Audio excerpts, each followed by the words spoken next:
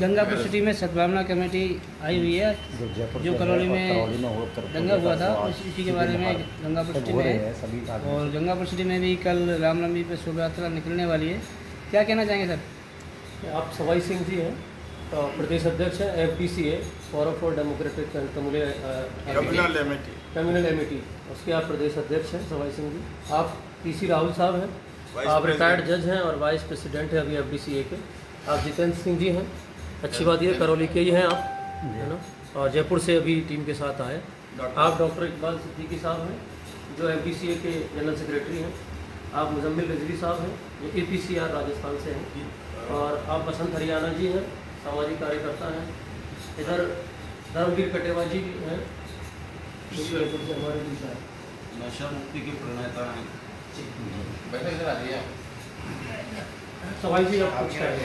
जी sir ये Abdul gas के बारे में क्या कहोगे और क्या राय है सर? देखिए करौली में एक दुर्भाग्यवश ऐसी घटना हुई जो पूरे प्रदेश पर उसका बड़ा प्रभाव पड़ा। है धर्म के नाम पर जो इस तरह के जुलूस निकले हैं हमारा निवेदन है कि उसको ऐसी धार्मिक रखें जिससे प्रेम बढ़े। धार्मिक जुलूसों से अगर किसी तरह का भेदभाव बढ़ता है तो वो धार्मिक जुलूस नहीं है। प्रेम बढ़ना चाहिए। और जुलूस की मर्यादा भी जिस तरह से होनी चाहिए अपने यहाँ, सद्भाव की जो मर्यादा हमेशा रही है, ऐसी रहनी चाहिए। हमारा तो एक निवेदन है आयोजकों से, जनता से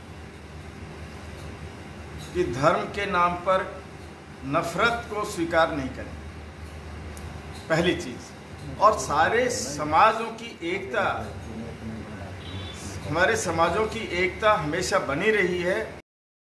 वो एकता बनाए रखनी है। सद्भाव जो बना रहा है, भाईचारा बना रहा है, वो भाईचारा, सद्भाव बना रहना चाहिए। आज आप देखिए करौली में जिस तरह का हुआ, उससे किसको फ़ायदा हुआ? सबको नुकसान हुआ है। गरीब मजदूर से लेकर, दुकानदार से लेकर, जो भी आम आदमी है, वो पिछले नौ दिन से, दस दिन से कितना परेशान हो रहा है। और समाज में लकीरें खिंच जाती हैं। तो इन लकीरों को मिटाना है। समाज में किसी तरह के भेदभाव नहीं हो। यही हमारा उद्देश्य है। भाईचारा बढ़े, सद्भाव पैदा हो। ये हमारा उद्देश्य है। हमारे सद्भाव समिति का जो प्रदेश स्तर की है तो आगे भी हमें सूचना मिली, हिंडौन की सूचना मिली। हिंडौन भी हम गए। वहाँ के भी एसडीएम साहब ने और डिप्टी एसपी ने हमको आश्वासन दिया। ग्रामीण लोग भी थे, हिंडौन के लोग भी थे, उन्होंने भी बड़ा आश्वासन दिया। करौली के लोगों ने भी, करौली के कलेक्टर साहब ने, एसपी साहब ने भी ये आश्वासन हमको दिया कि भविष्य में किसी तरह की ऐसी बात नहीं होगी। और हम ये कोशिश करेंगे कि सब समाजों को एक साथ बैठाएँ, मिलाएँ, बातचीत बढ़ाएँ, उनका संवाद बढ़े और सद्भाव आगे बढ़े। ये हमको आश्वासन करौली से भी मिला है, हिंडौन से मिला है और हमारी गुजारिश है कि यहाँ का गंगापुर का जो समाज है, जो शिक्षित समाज हैं, बौद्धिक समाज हैं, मीडिया कर्मी हैं, इस सद्भाव को बढ़ाएँ, प्रेम को बढ़ाएँ, भाईचारे को बढ़ाएँ। और ये गंगा जमनी तहजीब हमारी जो हमेशा रही है उसी से समाज ठीक तरह से रहा है। इन दंगों से और दूसरी तरह की हरकतों से, नफरत से समाज में सिवाय बिगाड़ के और कुछ सुधार नहीं होता है। इसलिए चंद कुछ लोगों के मस्तिष्क में कोई विकार आ रहे हैं तो उन विकारों को भी हम सब मिलकर, उन विकारों को भी दूर करें और वो भी एक अच्छे इंसान, अच्छे नागरिक बने, ये हमारी गुजारिश है। आप लोगों को बहुत बहुत सर जैसे हमारे पुराने आपने कहा था कि गंगा जमुनी तहजीब पे जो चलता आया मामला तो बुज़ुर्ग जो थे सीनियर है आज से पचास यानी पचास साल से ऊपर के जितने हैं बुज़ुर्ग है तो वो तो उसी तहजीब पे चल रहे हैं पर जो नया युवा है उसमें कहीं ना कहीं ये विकृति कहाँ से आती है इस चीज़ को? जो माइंड डाइवर्ट होता है एक धर्म को एक इतना उस चीज़ के अंदर चला जाता है इतना कट्टरपंथी आ जाती है कि वो कुछ भी नहीं देखता सामने किसका नुकसान होगा या हमारा होगा या अगले का होगा? आप सही कह रहे हैं नई पीढ़ी में ये विकार आ रहे हैं, ये विकार अपने आप नहीं आए उनमें। उनके मस्तिष्क में ये विकार डाले गए हैं। और ये डाले गए हैं तो कुछ उन स्वार्थी लोगों ने शायद डाले हैं, जिनके राजनीतिक हित होंगे या दूसरे हित होंगे तो उन लोगों ने डाले हैं। तो उन युवकों को भी समझना चाहिए, आज उनके सामने बहुत बड़ी चुनौतियाँ हैं, रोज़गार की चुनौतियाँ हैं। आज भ्रष्टाचार चुनौती है, आज समाज में जो बिखराव है, ये बड़ी चुनौती है। सामाजिक एकता, राष्ट्र, सामाजिक एकता से ही राष्ट्रीय एकता रह सकती है, बन सकती है। सामाजिक एकता नहीं रहेगी, राष्ट्रीय एकता नहीं रह सकती। उन नौजवानों को, नौजवान आज का बहुत ठीक है कि उनमें विज्ञान की बहुत समझ है।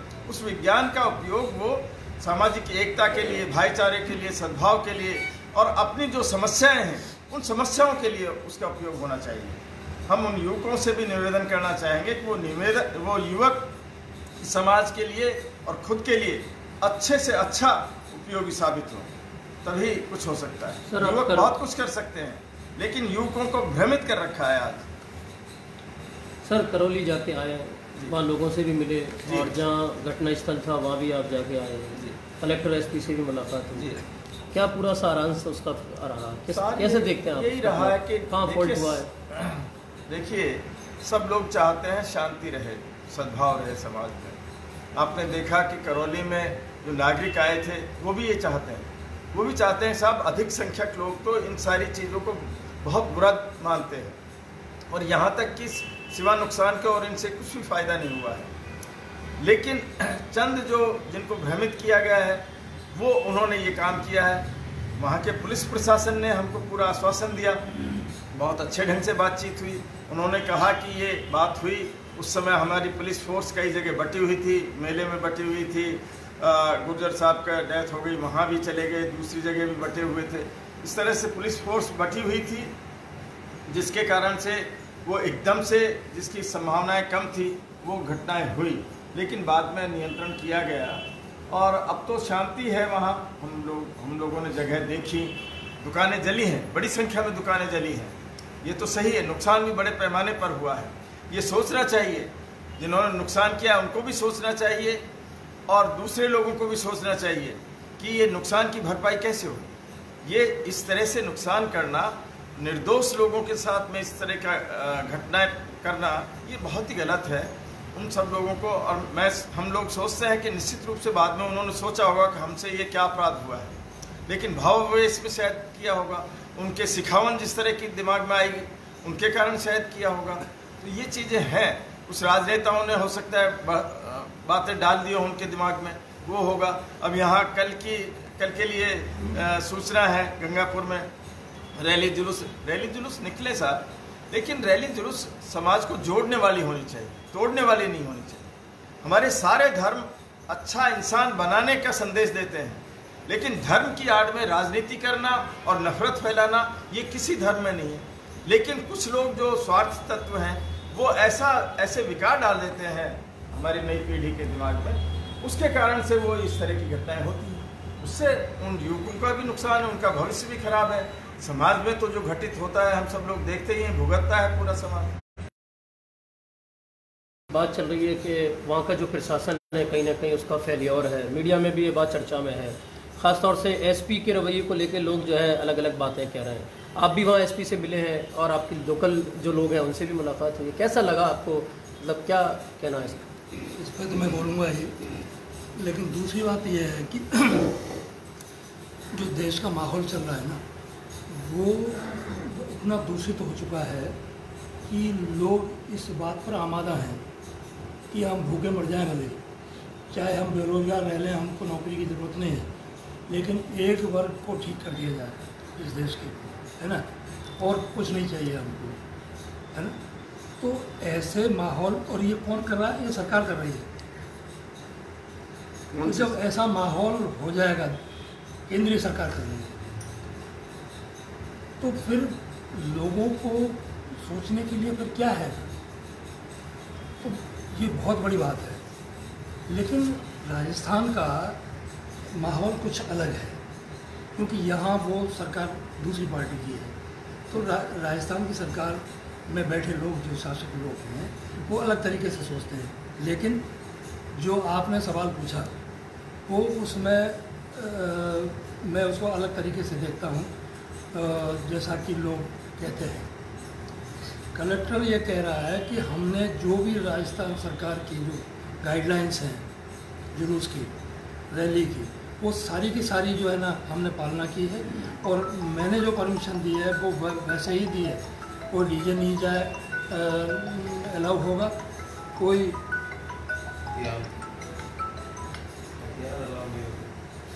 कोई नारे नहीं लगाए जाएँगे और उसका रूट जो तय होगा, उसी पर से ही जा रैली जाएगी। लेकिन हमारी बात मानी ही नहीं गई। कलेक्टर कहता है तो फिर किसकी बात मानी जा रही है? हाँ। कल मैं ये मानता हूँ और कि कलेक्टर का काम केवल एक आदेश जारी करना है राज्य सरकार की गाइडलाइंस के अनुसार और उसकी पालना करती है पुलिस। तो ये सीधी सीधी ज़िम्मेदारी जो है पुलिस की आती है। क्या सर इसमें पुलिस फेलियर रही है इसमें? बिल्कुल। और S P was sitting there जब ये कलेक्टर ने कही ये बात। और एसपी ने इस बात पर एक शब्द भी नहीं कहा कि नहीं हमने कुछ किया नहीं किया कुछ ये तो हम क्या माने उसके लिए? तो मतलब डीजे बजा एसपी मतलब आज भी ही नहीं बल्कि उस मौके पर भी थे। जहाँ दंगा हुआ आग जली हुई ऐसे वीडियो हमने देखे हैं। लेकिन अ, हम हम ये देख रहे हैं कि पुलिस जो है ना मुख दर्शक बनी देख रही है। तो ये सीधी सीधी ज़िम्मेदारी जो है ना प्रशासन की नहीं मानता मैं पुलिस की मानता हूँ। या तो सर पुलिस की संलिप्तता के है या नाकारीगरी का है? कुछ भी कह सकते हो किसी को कह सकते हैं। कुछ भी कह सकते हैं सर ऐसी आखिरकार क्या मजबूरी रही कि वहाँ पर भगवाधारी हथियार भी लहराए हैं? मस्जिद के ऊपर चढ़ के झंडा लहराने के वीडियो भी वायरल हो रहे हैं तो और पुलिस की आँखों के सामने तो। दुकानें जलाई जा रही है। मैं कह क्या कमज़ोरी रही? मैं कह चुका हूँ इस बात के लिए कि पुलिस का फेल्योर है या कुछ और भी हो सकता है। मैं उसके लिए कुछ नहीं कह सकता। फेल्योर ज़रूर है।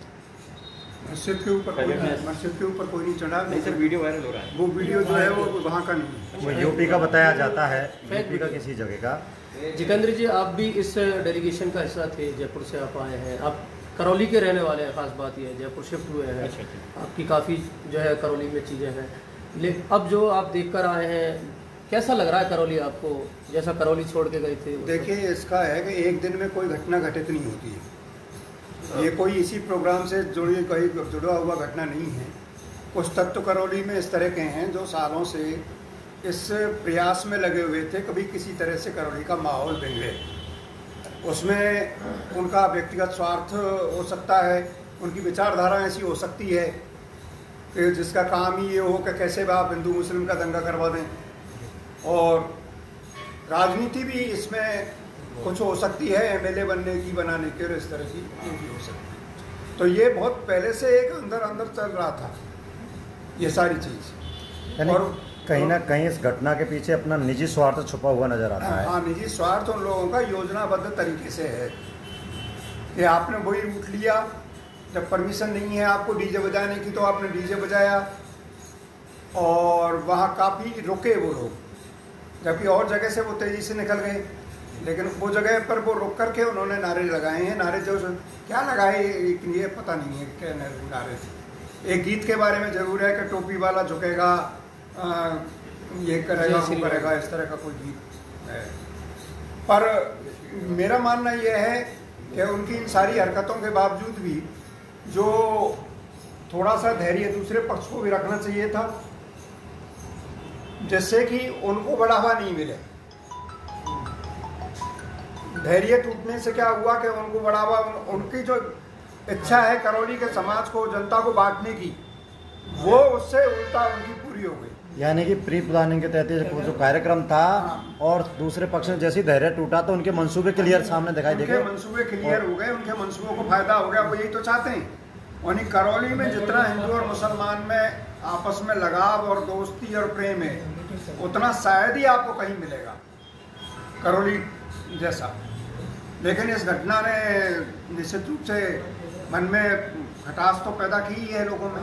अब हमारा काम ये है जो हम लोग जो आए हैं अपने मान्यवर साथी और कि भाई अब अगला काम है उस चीज़ को रोकना कि जो इतना अभाव पैदा हुआ है उसको किसी भी तरह से रोका जाए।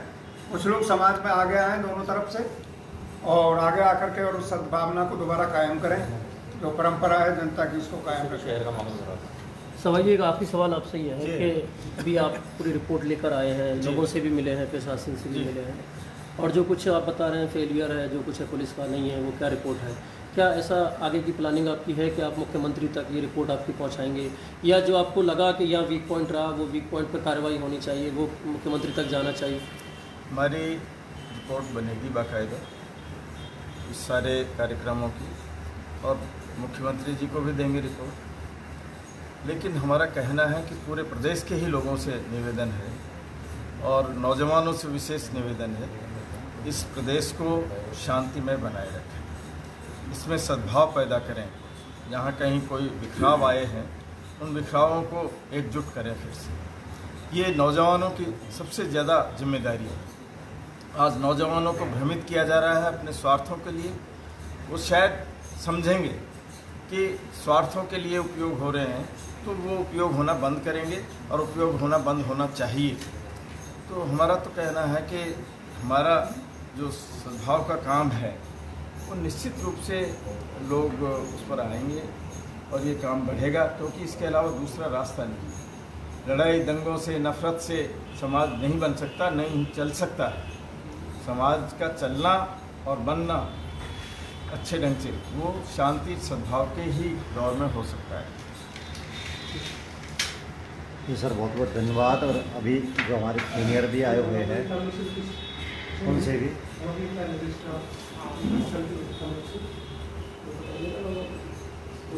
सर क्या कहना चाहेंगे? कहना ये है कि आग लगने के बाद कुआ खोदा जाता है उसमें वक्त लगता है। हमारा सबका आपका। ये फ़र्ज़ हो कि आग लगे ही नहीं आग लगने के बाद जो नुकसान होता है वो अभी आपने सुना। दुकानें, घर जलते हैं, लेकिन ऐसी विपदा में दिल टूटते हैं। और दिलों को कोई जोड़े, दिल ना टूटे तो हमारे इस देश प्रदेश में करौली ज़िले में ऐसा वातावरण बने जिससे दिल टूटने का माहौल ही पैदा नहीं और वो आसान है दिल तोड़ने का माहौल पैदा करना ना हो ये आसान है। लेकिन आग लगने के बाद आग बुझाने के काम में समय लगता है ताकत लगती है। और उसका बड़ा भारी खामियाना हमें गुजरना पड़ता है। आप लोगों से निवेदन है कि क्योंकि हमने वहाँ ये ऑब्ज़र्व किया कि जो नेशनल मीडिया है, वो इसको सनसनी बना रहा है। यहाँ तक भी कह रहा है, कुछ मौतें हो गई, लेकिन ऐसा नहीं हुआ। उसको वहाँ के लोगों ने, आप जैसे बुद्धिजीवी लोगों ने, उसको वातावरण है जयपुर से ये जो सद्भाव की जो टीम आई है, इसका हर जन ने स्वागत किया है। लाल सोट में तो आपको ध्यान हो को 2003 में एक सद्भावना कैंप भी लगा था, श्रमदान भी हुआ था। तो ऐसे वातावरण होने से क्या है कि पहले ये आग कहीं लगे नहीं। लगने के बाद आग बुझाने के लिए बड़ी ताकत की ज़रूरत है और उस आग को और जलाने के लिए और लोग दूसरे ताकत लगाते हैं। इसलिए वातावरण ये हो कि आग लगे ही नहीं, दिल टूटने का वातावरण बने ही नहीं। ये हम सबको सोचना होगा, क्योंकि हमारा देश, हमारा प्रदेश इस चीज़ के लिए सुविख्यात है। पूरा देश राजस्थान की ये भक्ति और शक्ति और ख्वाजा की ज़मीन को बड़ी आशा की नज़र से देखता है। यहाँ के सद्भाव को गंगा जमुनी तहजीब को पूरी दुनिया देखती है। और अब अंतिम ये कड़ी है, अगर यहाँ कोई गंभीर घटना होती है तो वो पूरे देश के लिए खतरनाक साबित हो सकती है। डॉक्टर साहब, एक आखिरी सवाल आज का हमारा प्रेस कॉन्फ्रेंस का ये है कि एक इशू है जो उठाया जा रहा है नेशनल मीडिया के माध्यम से, कि बहुत सारे लोग हैं जो पलायन कर रहे हैं। और वो जो है पलायन पर मजबूर हुए हैं, लोगों को निकाला जा रहा है। क्या इस तरीके की कोई बात आपकी वहाँ हुई किस किन्हीं लोगों से, या कोई बात आपके सामने आई इस तरीके की? नहीं, लोग पलायन क्यों करेंगे? वहाँ वहाँ तो ऐसा माहौल है कि लोग गुथे हुए हैं एक दूसरे में। मोहल्ले इस तरह से बने हुए हैं कि वहाँ सब मिले जुले हुए लोग हैं। वहाँ लोगों के अलग अलग मोहल्ले हैं ही नहीं। ये ज़रूर है कि किसी मोहल्ले में किसी वर्ग की संख्या ज़्यादा है, किसी मोहल्ले में किसी वर्ग की संख्या ज़्यादा, लेकिन मोहल्ले जो है, मिले जुले हैं, एक जैसे हैं। तो ये सब तो सवाल ही पैदा नहीं होता कि लोग पलायन करें, ऐसी कोई स्थिति भी नहीं है। और अगर ऐसी स्थिति पैदा करने की कोशिश की जा रही है तो उसको रोकना सारे नागरिकों की ज़िम्मेदारी है। हमको उसे रोकने की कोशिश करनी चाहिए। एक बात मैं यहाँ गंगापुर के बारे में भी कहना चाहता हूँ कि कल जो रैली निकलने वाली है, उसको पूरे प्रेम और सद्भाव के साथ निकलने दिया जाए। लोगों से अपील की जाए। मेरी, आप लोगों के माध्यम से भी सारी जनता से ये अपील है कि रैली में शांतिपूर्वक शरीक हों। और शांतिपूर्वक गुजर जाएँ। किसी को आप, आपकी वजह से कष्ट ना हो इस बात की कोशिश करें। और जो दर्शक हैं जो रास्ते में बैठे हुए लोग हैं या जो अन्य वर्गों के लोग हैं वो भी शांतिपूर्वक उनको गुजरने दें और उनके गुजरने में आसानी पैदा करें। बल्कि ये होना चाहिए कि वो जो इस तरह के नारे लगाए जाते हैं प्रशासन को चाहिए कि उस वो पहले से चेक कर ले कि इस तरह की कोई चीज़ तो नहीं है। और प्रिकॉशंस बहुत ज़रूरी हैं। प्रिकॉशंस जहाँ नहीं लिए गए, वहाँ पर ऐसी घटनाएँ हुई हैं। प्रिकॉशंस लिए जाएँगे तो घटनाएँ नहीं होंगी। सर, जैसे गंगापुर सिटी में देखा गया कि कैला देवी मेला पूरी तरह परवान पर चढ़ा हुआ था। दो साल बाद एक लक्की मेला नवरात्राओं का ये फ़ेमस है अपने कैला देवी का। तो कहीं ना कहीं मैप पे जाकर देखते हैं तो करौली ज़िले का नाम आता है। कैला देवी कहाँ से था करौली ज़िले में।